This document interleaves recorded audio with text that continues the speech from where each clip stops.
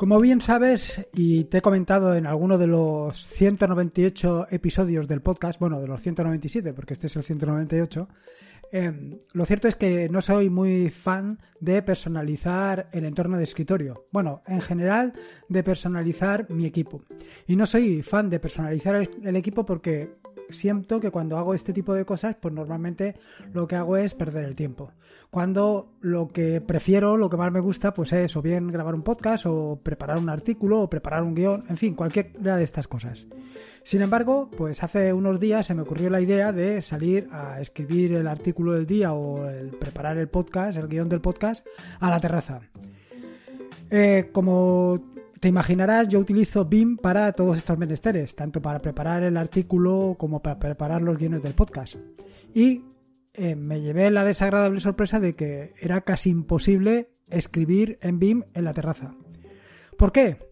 Bueno, básicamente porque eh, utilizo un tema oscuro. Con todo esto de que ahora se ha puesto tan de moda los temas oscuros, y he visto que los temas oscuros me vienen muy bien, pues porque la vista no está tan cansada, y para esto te remito al episodio del podcast anterior donde te hablaba sobre esto de proteger los ojos. Bueno, pues me, me siento mucho más confortable. Pero claro, en un sitio donde hay brillo, pues justo esto no es lo más adecuado. Más bien es todo lo contrario. Así que pues decidí invertir unas horas en personalizar, pero no personalizar el entorno de escritorio, sino de personalizar la terminal. Personalizar el emulador de la, la, consola, personalizar la consola, pues no solo con temas, sino también con las fuentes y con algunas herramientas que me permitieran ser precisamente eso, más productivo y que y estar más cómodo tanto en ambientes exteriores como en ambientes interiores. Y de eso precisamente te voy a hablar en este episodio del podcast.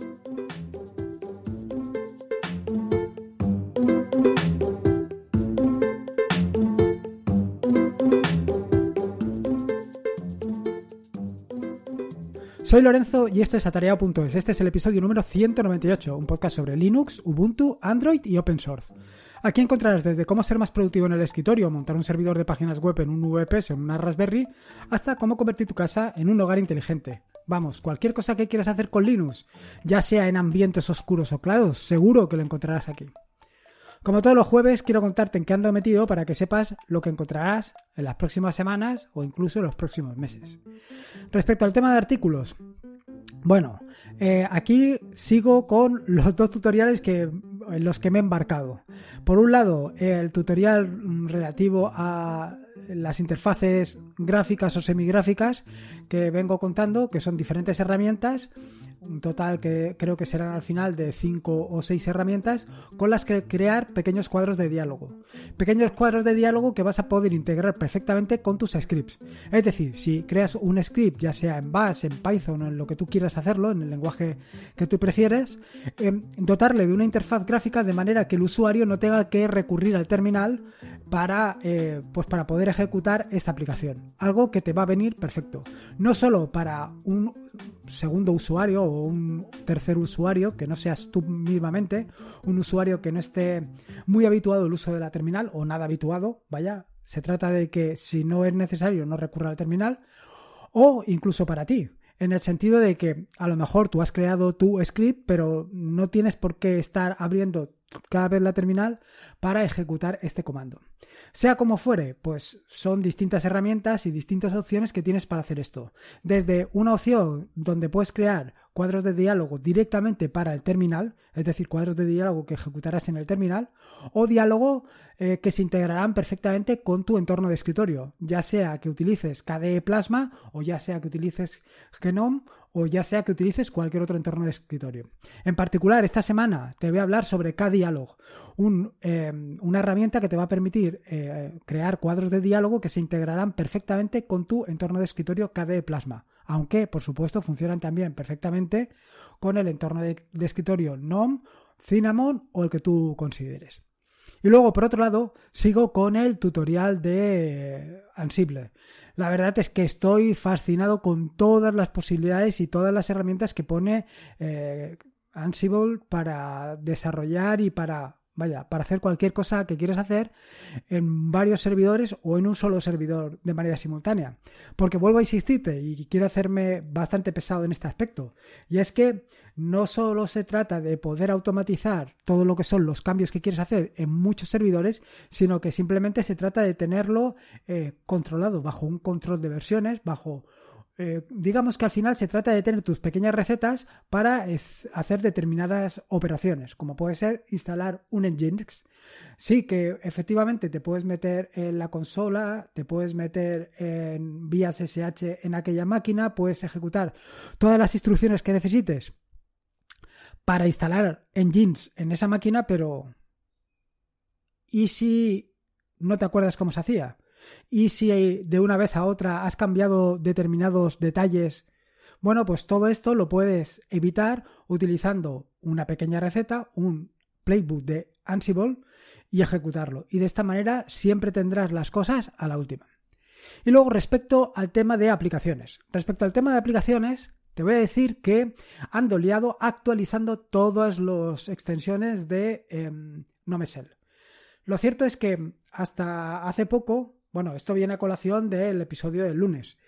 Eh, como ya te estuve hablando de un poco JavaScript en el terminal y la migración de GTK2 a GTK3 y toda esta revolución que supuso, pues esto me ha llevado a repasar un poco las extensiones y darme cuenta que eh, con la última versión de NoMesel pues no están funcionando. Y no están funcionando porque introduje un cambio eh, en las últimas actualizaciones que no, vaya, que no funciona. Así que me toca actualizarlas y voy poco a poco. Pero con una gran ventaja, y es que una de las librerías que había implementado o que había utilizado, mejor, que había utilizado y que estaba migrando poco a poco a las últimas versiones de JavaScript, pues no terminaba de funcionar. Vaya, de hecho la tenía medio implementada en una versión y medio implementada en otra versión. Y así andaba. Y sin embargo me he llevado la, dulce alegría de que en el último día, vaya, en, eh, hace unos días, cuando estuve actualizando las extensiones, conseguí migrarla a toda la última versión. Y vaya, ahora voy como un tiro. Yo creo que pues entre esta semana y probablemente la semana que viene, pues ya tendré todas las extensiones actualizadas y alguna extensión más. Sobre todo esto viene un poco a colación del trabajo que estoy haciendo con Fernando referente a Tasker. Y es que quiero integrar perfectamente Tasker con Nomesel porque las posibilidades que te ofrece son mucho mayores. Más teniendo en cuenta que mm, eh, las limitaciones que tiene App Indicator referente o respecto a NoMesel. Bueno, en fin, que no me quiero enrollar más porque veo que me estaba lanzando aquí y no se trata de eso. Así que vamos directamente al turrón. Voy a contarte la cosa esta de personalizar el terminal. Y es que, como te decía un poco en la introducción, no me gusta nada esto de, personalizar, porque al final me doy cuenta que llega un momento en que pasas más tiempo, o por lo menos me pasa a mí, paso más tiempo personalizando que trabajando. Y evidentemente no se trata de eso, se trata de tener herramientas productivas que funcionen perfectamente. Así que eh, lo primero es, te voy a contar todo el proceso que tengo yo para personalizar el terminal o todas las herramientas que estoy utilizando desde el propio emulador de terminal hasta las personalizaciones del, del shell. Sea como fuere. Voy a empezar por el emulador del terminal. Eh, en el episodio 172 del podcast ya te hablé, o vaya, y es que es más, lo titulé Me cambio de terminal, y te hablé de una herramienta o un emulador de terminal que para mí ha supuesto un antes y un después. Se trata de Alacrity. ¿Por qué? ¿Qué aporta o qué me aporta Alacrity respecto a otros emuladores de terminal? Pues básicamente nada. Quiero decir que es un emulador de terminal como cualquier otro. Simplemente, pues que le he dedicado más tiempo que en otras ocasiones a personalizarlo. Pues añadirle determinados temas, añadirle determinados, em, ¿cómo se llama?, tipografías y dejarlo un poco a mi gusto. Y lo cierto es que la gran ventaja que tiene Alacrity es que va que se las pela. Vamos, te recomiendo que escuches el episodio 172, que como te digo se tituló Me cambio de terminal, para que puedas desgranar hasta el más mínimo detalle por qué o el motivo de mi cambio. Lo siguiente es la línea de comandos, la, lo que es básicamente el shell. ¿Cuál utilizo yo? Bueno, esto más bien por deformación, el que es de formación profesional o porque es eh, básicamente el ser que utilizan todas las máquinas a las que me conecto, es Bash. Sin embargo, en mi entorno de escritorio, el, lo tengo, digamos, supervitaminado. Eso sería eh, exactamente sería lo que la palabra que andaba buscando. Supervitaminado. ¿En qué sentido lo tengo supervitaminado? Pues porque utilizo un framework, un framework que me permite hacer las cosas mucho más fáciles, que se llama Basit. Eh, Basit recuerda a Oh My Z, ZSH, creo que creo que es, y es que lo que te pone es pues toda una serie de herramientas pues para personalizar de una manera em, más metódica todo lo que tiene referencia con el terminal, con la línea de comandos. Y la verdad es que funciona muy bien. Tengo que decirte que entre las distintas alternativas que hay, es decir, bueno, entre las distintas alternativas que hay muchísimas más. Yo me voy a, decirte las que más te pueden sonar, como pueden ser Bash, ZSH o Fish. Yo he probado tanto Bash como Fish. Sin embargo, como te digo, me he quedado con Bash por deformación profesional y eso sí, lo he dotado de, pues, el framework o, eh, mm, perdona, el framework Basit para darle mayor funcionalidad y sobre todo para eso, para que los cambios que realizo pues estén amparados de alguna manera. De cualquier manera, te recomiendo que leas el capítulo número uno del tutorial sobre el terminal eh, llamado la línea de comandos para que veas todo esto referente al, al ahora no me saldrá al Shell. Y luego, por otro lado, también te recomiendo que escuches el episodio número 16 del podcast, titulado Disfruta del terminal como si no hubiera mañana, en el que te abro un poco más en profundidad sobre este framework, sobre Basit. Aunque también te recomiendo, por supuesto, que leas el artículo eh, titulado Potencial, Potencial el poder de tu terminal con Basit. Eh, te puedo decir que Basit para mí ha supuesto un antes y un después es cierto que puedes hacer lo mismo sin necesidad de este framework, sin necesidad de Basit. Puedes crear alias, puedes crear determinados em, mejoras para tu para tu para tu. Pero de esta manera lo tienes todo mucho más ordenado y mucho más concreto. Vale, una vez ya te he contado un poco estas dos cosas, estas dos patas, la parte de lo que es el emulador de terminal y por otro lado la parte de em, el el siguiente paso son los temas. Como te decía, hasta hace poco, eh, básicamente esto de poner un tema en el terminal, pues no le había prestado mucha importancia. Tengo que serte completamente sincero. Lo cierto es que hasta hace muy poco utilizaba el terminal que viene por defecto en Ubuntu y sin ningún tema, sin ninguna personalización, nada más que el framework. Sin embargo, a raíz de lo que te he comentado, a raíz de salir a la terraza, bueno, perdón, eh, cuando instalé a la Criti, en paralelo, en BIM, instalé Drácula, el tema Drácula. No instalé a Drácula dentro de un ataúd, sino que instalé el tema Drácula en BIM, como ya te puedes imaginar. Bueno, la cuestión es que instalé Drácula. ¿Y por qué instalé Drácula? Este tema me gusta porque es un tema oscuro, es un tema bastante consolidado y es un tema que lo puedes encontrar para distintos editores, también lo puedes encontrar para Alacrity, lo puedes encontrar para otros terminales, en fin, que me gustó que estaba disponible para muchas cosas y me parecía darle un tono homogéneo a todas las herramientas que utilizo. Y eso fue básicamente la razón para instalarlo. Em, llegados a este punto, y como te decía, al salirme a la terraza y ver que no veía un carajo, decidí buscar otros temas. Otros temas que, vaya, que tuvieran, por una parte, un tema oscuro para cuando trabajo en el interior de casa y un tema claro para cuando trabajo en el exterior. Em, sobre el tema oscuro, decirte que mm, me veía un poco influenciado por el, podcast anterior, el podcast número 193, en el que te hablé sobre proteger tus ojos, y em, el tema este de pues tratar de buscar un tema que tuviera unos colores que fueran cálidos. No cálidos en, cuanto a temperatura, sino en que fueran virando hacia el rojo. Más que nada porque eh, te hacen descansar más la vista. Aunque cierto es que los colores que son más claros, los colores que son más brillantes, los colores más virando hacia el azul, pues te dan más productividad. Pero bueno, no creo que para lo que yo quiero esto sea lo que busca. Así que estuve buscando distintos temas, distintos temas que pues un poco se adaptaran a mis necesidades. En este sentido, mm, directamente me fui a probar temas para BIM. ¿Y por qué para BIM? Pues básicamente porque últimamente es la herramienta que utilizo por defecto para hacer prácticamente todo. Como te he dicho, desde los guiones del podcast hasta los artículos, pasando por el desarrollo de aplicaciones, ya sean en JavaScript, Python o lo que sea, o por supuesto en Bash. Y luego, eh, una vez me decanté por un tema, busqué si existía em, ese, esa variante o ese tema también para el terminal, en este caso para la Criti. Decirte que en las notas del podcast he dejado los cinco temas por los que o con los que he estado jugando hasta el último momento. Solarize, Solarize 8, Groupbox, Molakai y Paper Color. Por supuesto, también estaba Drácula, pero por lo que te he contado anteriormente, pues me decanté por, o sea, abandoné Drácula por, porque no tenía eh, modo claro. Y al final me he decantado por Groupbox, con la ventaja de que Groupbox también tiene un, un fondo de pantalla, perdona, un esquema de colores que eh, se integra perfectamente con Alacrity.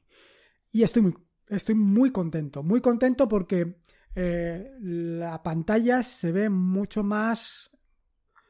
¿Cómo te digo? El fondo de pantalla no es negro, no es negro de... O sea, el color del fondo, perdón, no es negro, sino que es un color así grisáceo. Y las letras tampoco son blancas del todo, sino que son un tono un poco crema. Con lo cual me da la impresión que noto la vista más descansada. Pero bueno, no sé si es una, como diríamos, una sugestión o qué, en qué ando metido, pero la verdad es que estoy muy a gusto. Por otro lado, evidentemente, acompañado con el tema, pues era necesario seleccionar una buena fuente. ¿Y qué buena fuente? Pues mira, y no me refiero al, al, cómico, no me refiero a buena fuente, sino una buena tipografía. En este sentido, el sábado pasado mm, actualicé un artículo que había escrito titulado Tipografía para escribir código porque estuve buscando distintos eh, fuentes, pues fuentes nuevas que mm, se adaptaran a mis necesidades, se adaptaran a que pues se tratara una fuente limpia, una fuente clara, una fuente que tuviera un una vaya que fuera muy sencilla de leer, porque eh, inicialmente me estaba pensando en una fuente que fuera sencilla de escribir, pero no se trata de eso, evidentemente. Estaba completamente eh, equivocado. De hecho, estuve buscándolo, estuve buscando en internet fuentes fáciles o fuentes para escribir código y, no daba con la tecla hasta que caí en el asunto. No se trata de fuentes para escribir código, sino fuentes para leer código. En, general, fuentes para leer. Se trata de fuentes que, se distingan perfectamente, donde no quepa la confusión entre si es, por ejemplo, un 0 o una O, o si es una N o es una, una O, por ejemplo, ¿sabes? Que tiene que ser cosas que sean muy claras. En este sentido, como te decía en ese artículo, eh, en el de tipografía para escribir código, pues en su momento creé un paquete con distintas tipografías, distintas tipografías que se adecuan básicamente a esto, pues a fuentes como pueden ser Hack o como pueden ser Flex o pues las que he incorporado recientemente, porque buscando nuevas tipografías em, he incorporado unas nuevas dentro de, esta, de este paquete. Dos fuentes nuevas como son Cascadia Code y JetBrains Mono. La primera, Cascadia Code, es una fuente creada por Microsoft y liberada bajo licencia SIL, Open Phone License. Y es una tipografía que está pensada eh, concretamente para Windows Terminal. Y como te puedes imaginar, está especialmente recomendada para su emulador de terminal. Y también, por supuesto, para el Visual Studio Code. Y lo cierto de las cosas es que se ve muy, pero que muy bien. Y otra de las características que también me llama mucho la atención y que últimamente estoy intentando incorporar en casi cualquier sitio es las ligaduras. Pero sobre esto de las ligaduras, no sé si te he contado, pero ya te contaré más adelante. Y luego la otra fuente, bueno, en realidad incorporé tres fuentes, pero solamente te quiero contar sobre estas dos, Cascadia Code y la otra fuente JetBrains Mono. JetBrains Mono. Esta segunda fuente está creada por los desarrolladores de JetBrains, eh, JetBrains es un editor de código bastante famoso. Y sobre todo, esta fuente o esta tipografía destaca por la altura de las características de las características, de los caracteres en minúscula. son lo más alto posible. ¿Y, ¿Y esto qué implica? Pues que son muy fáciles de leer, son muy sencillos de leer. Y esto es fundamental. Esta fuente también es una fuente open source y está liberada bajo licencia Apache 2.0. En particular, yo me he creado, bueno, hasta ahora, hasta la actualización de este artículo, he estado trabajando con Hack, pero eh, me he decidido a probar JetBrains y la verdad es que estoy enamorado. Estoy utilizando un tamaño de fuente un, un pelín más pequeño que con Hack. Creo que con Hack estaba utilizando el tamaño 12, 13, perdón, y con JetBrains Mono estoy utilizando el 12. Y sin embargo lo leo perfectamente. Se, vaya, se distingue muy bien, muy bien. Estoy muy, pero que muy contento. Y luego, por último, pues quería hablarte sobre unas herramientas, unas herramientas que he añadido también a mi flujo de trabajo para, pues básicamente, mejorar la productividad en el terminal. Em, entre las herramientas, por supuesto, está FZF, sobre la que ya te hablé en el episodio 195, en el que te comenté sobre la lógica difusa en el terminal. Un episodio que me pareció muy interesante, de verdad, y que te recomiendo mucho. Em, la verdad es que no soy muy partidario de añadir eh, herramientas al terminal. bueno, al terminal, al terminal de casa, al terminal personal. Y no soy partidario de esto porque luego cuando me meto en alguna máquina que no es la que toca, o sea, que no es la mía, en alguna de las máquinas en las que entro, pues me llevo la desagradable ilusión que busco esa herramienta y no está. Y esto, pues la verdad es que es un duro golpe. Y siempre tienes que ir buscando alternativas para mm, solventar este problema. Pero bueno, al final, como también pasó mucho tiempo en el, en el equipo de casa, en el equipo personal, pues instalo estas herramientas. Así como te digo, la primera ha sido FZF, otra herramienta muy pero que muy interesante es Jump, que es una herramienta eh, que viene a sustituir a CD. Sí, sí, a CD, al de cambiar directorio. Pero con la ventaja de que le da inteligencia. Quiere decir que tú normal, para cambiar de directorio, pones CD seguido por la ruta absoluta o CD seguido de la ruta relativa y así vas cambiando. Sin embargo, con Jump puedes escribir J y como hago yo, que tengo los episodios del podcast, E177 y me va directamente al 177 con independencia de dónde está. ¿Por qué? Porque es una herramienta que va aprendiendo de lo que tú vas haciendo. Claro, al principio, pues si le pones el 177, pues no te vaya, no te vayas a ningún sitio. Pero la segunda vez que vayas al directorio E177, y estés en otro sitio y pulses y escribas JE177 te va a llevar. Muy interesante, de verdad es una herramienta muy pero que muy interesante. También funciona con lógica difusa y es algo bastante recomendable, por lo menos que lo pruebes. La siguiente herramienta que te recomiendo es DeFac. Sí, sí, como lo has oído, DeFac de DeFac. Esta herramienta es bastante curiosa por lo menos es una herramienta, yo no sé si la utilizaré, ¿vale? Pero, pero por lo menos será contártela porque me ha llamado la atención. Y es que resulta que se trata de una herramienta que lo que hace es que si tú eh, escribes, por ejemplo, bueno, al escribir un comando te equivocas y luego la siguiente vez, o sea, lo, siguiente que haces es escribir de FAQ, él lo que va a hacer es sugerirte eh, herramientas o sugerirte comandos o sugerirte instrucciones que corrijan o que funcionen donde la instrucción anterior han fallado. Por ejemplo, si escribes ls-la, todo junto, el, y luego, claro, eso te va a arrojar un error. Si luego escribes fac, lo que te va a decir es opciones donde podrás ejecutar ls-la. Claro que también puedes escribir ls-la y ya está. Pero bueno, que es una, una, cosa curiosa. Y luego la tercera y última herramienta que te quiero recomendar es TLDR. Sobre esta herramienta, decirte que ya hablé en el tutorial sobre el terminal.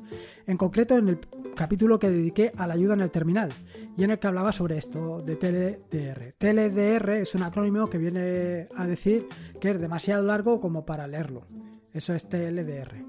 Em, y al final lo que hace es que muchas veces te habrás enfrentado a una ayuda de man donde es casi tan complejo leerte la ayuda o es tan casi indescifrable leerte la ayuda como, em, como ir a ciegas, como ir probando. porque a lo mejor o es una ayuda muy compleja o es una ayuda muy extensa. Bueno, pues TLDR lo que hace es simplificar hasta extremos inverosímiles la ayuda.